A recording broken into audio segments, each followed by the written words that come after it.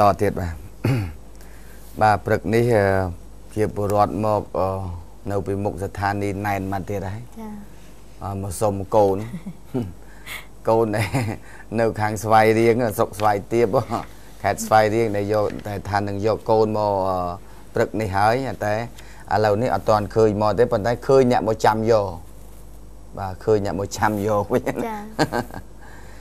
បាទទូទាំងជនឥឡូវនេះកលេចមកមើលរឿងមួយម្សិលមិញនេះគឺមានក្មួយស្រីម្នាក់អឺពកូនអាយុ8ខែដូចកូនអ្នកនៅស្វាយទៀបដែរចាពកូនអាយុ8ខែកូនស្រី ហើយមានផ្ទៃពោះ5ខែទៀតបាទកូន8ខែបាទហើយក្នុងពោះមាន5ខែទៀត បាទយំប្រសិទ្ធស្លាក់ហើយនឹងប្រុងយកកូននេះមកឲ្យខ្ញុំដើម្បីឲ្យរកម្ដាយឬក៏ឪពុកដើម្បីចិញ្ចឹមដោយសារតែគ្នាក្រលំបាកតោកយ៉ាក់ពេកព្រោះម្សិលមិញនេះទទួលចែកជំនួយឲ្យខាងប៉ូលីសចរាចរណ៍ដែលជំនួយរបស់ខាងសពរដ្ឋជនខ្មែរយើងមកពីបារាំង ចឹងមកឥឡូវក្មួយស្រីនេះមកដល់នេះទៀតយកកូនមកប្រុងឲ្យប៉ុន្តែដោយសារតែមកដល់កូននេះអញញឹមស្រស់រស់រាយឃើញយើងសោចដាក់ម្ដាយនោះយំអញ្ចឹងគាត់ថាពូខ្ញុំអត់ចង់ឲ្យកូននេះចង់ឲ្យពូជួយខ្ញុំវិញជួយខ្ញុំជួយខ្ញុំដើម្បីឲ្យខ្ញុំបានចិញ្ចឹមកូននឹងហើយខ្ញុំសុខចិត្តកូននៅក្នុងផ្ទៃដែលកំពុងមាន5ខែនេះអើហើយពិនិត្យអេកូទៅគេថាកូននឹងកូនភ្លោះទៀតចា បាទកូនភ្លោះទៀតបាទកូនបាទដល់ពេលអញ្ចឹងឥឡូវហ្នឹងក្មួយស្រីក្មួយស្រីនេះឈ្មោះសេងសីនាងអាយុ27ឆ្នាំ ស្រុកកំណើតកំណើតរបស់នាងនឹងនៅភូមិអង្ក្រងឃុំបឹងព្រះខេត្តព្រៃវែងបច្ចុប្បន្ននាងស្នាក់នៅផ្ទះជួលនៅសង្កាត់ចាក់អន្រែលើខណ្ឌមានជ័យហើយមានកូនស្រីម្នាក់នឹងអាយុ8ខែ កូនក្នុងផ្ទៃនោះគឺថាកូនភ្លោះគេពិនិត្យទៅឃើញ5ខែតែពិនិត្យទៅឃើញកូនភ្លោះចា៎បាទក្មួយស្រីត្រូវបានប្តីនឹងរត់ចោលតាំងពីកូនមិនទាន់កើតមកម្លេះប្តីនឹងលែងគ្នាពីរដងហើយប៉ុន្តែនាងនិយាយទៅត្រង់ទៅ ថាប្តីនឹងគឺមិនបានរៀបអាពាហ៍ពិពាហ៍ទេគឺស្រឡាញ់គ្នានាងធ្វើការនៅរោងចក្រហើយនឹងខាងប្តីនោះគេនៅខាងលវីអែមចា គាត់ដឹកគាត់ដឹកផ្លែឈើតាមម៉ូតូសង្ការេលក់តាមរោងចក្រអូ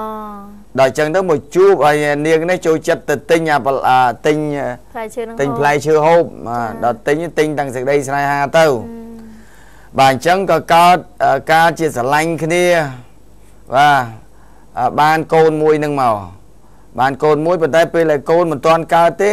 ប្តីនឹងរត់ចោលរត់ចោលដល់ពេលកូននឹងចាប់ដើមកើត បាទនេះខ្ញុំមកជួលកង់3បាទរមាក់ម៉ូតូនេះដឹកអីវ៉ាន់ណាឲ្យនាងត្រឡប់ទៅវិញខ្ញុំចេញទាំងអស់បាទឲ្យកអីចឹងទៅបាទនេះឲ្យគាត់ទៅវិញបាទវាមានតិចឲ្យតិចទៅមានច្រើនឲ្យច្រើនទៅហើយប្រិមិត្តរបស់យើងឲ្យមកហើយគឺខ្ញុំយកអាទៀនរបស់គេនឹងឲ្យបន្តទៀតទៅបាទដល់ពេលបន្តទៀតបន្តសាច់រឿងនាងទៀតនៅពេលដែលប្តីនោះរត់ចោលទៅ គឺកូនមិនទាន់កើតទេ ដល់ពេលនោះនាងក៏ចាប់ផ្ដើមអ្នកចិត្តខាងគេជួយដោយសារនាងសម្រាប់កូនអត់មានលុយទៅជាប់នឹងខ្លួនអញ្ចឹងធ្វើឲ្យអ្នកចិត្តខាងហ្នឹងគេជួយអាណិតអាសូរយកនាងទៅពេទ្យជ័យជំនះសម្រាប់កូននៅទីនោះហើយនៅពេលដែលនាងកើតកូនបានហើយបានប្រហែលជាមួយខែប្តីនឹងមកយកវិញចាមកយកវិញយកទៅនេះក៏ព្រមយកទៀតទៅចា ដល់ព្រមយកទៀតប្រាប់តាម្លងបាន3 4 5ខែទៅមានទៀតទៅមានតីពោះទៀតទៅអើមានតីពោះនៅរត់បាត់ទៀតទៅអញ្ចឹងឥឡូវនាងកំពុងតែដង្ហើយហៅរកអឺអ្នកជួយនាង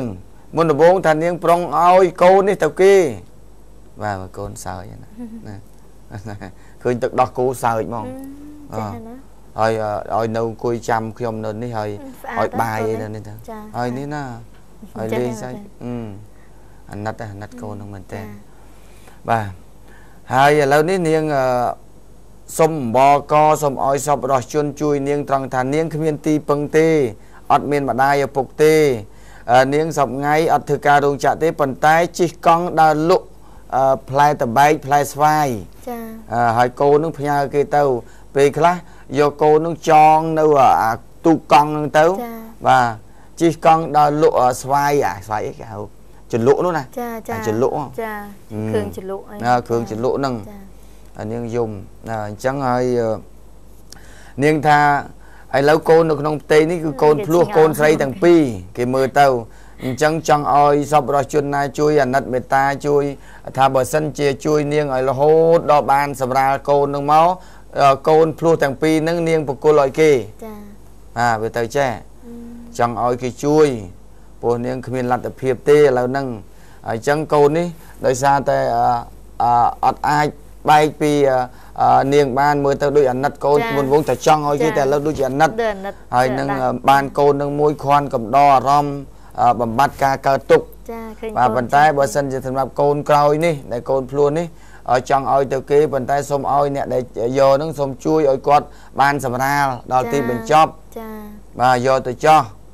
សនុកនាងដើររស់ស៊ីអីតទៅទៀតចាឲ្យបានអឺនៅកូនស្រីមួយហ្នឹងបាទនេះអ្វីដែលក្មួយស្រីមកដល់ស្ថានីយ៍ខ្ញុំកាលពីម្សិលមិញបាទអញ្ចឹងទេឃើញលោកមានសពរស់ជនឬក៏អ្នកណាមួយមានធម៌មេត្តាចង់ចំគ្នាឲ្យរហូតដល់នាងមានអឺគ្រប់ខែគ្រប់ខែបានខែទេឡា9ខែ10ថ្ងៃ9ខែណាព្រោះខ្ញុំអត់ដឹងហ្នឹងចា5ខែអញ្ចឹងសល់4ខែទៀតណាចាចាបាទដូចក្មួយស្រីកមុនដែលអ្នកចាក់ រូបអញ្ចឹងណាចាចាបាទអញ្ចឹងគេបានជួយដល់នាងអឺបានកើតកូនមកទៅហើយឥឡូវនាងអឺបានសេចក្តីសុខទៅហើយបាទបើបានអញ្ចឹងហើយសុខតទៅទៀត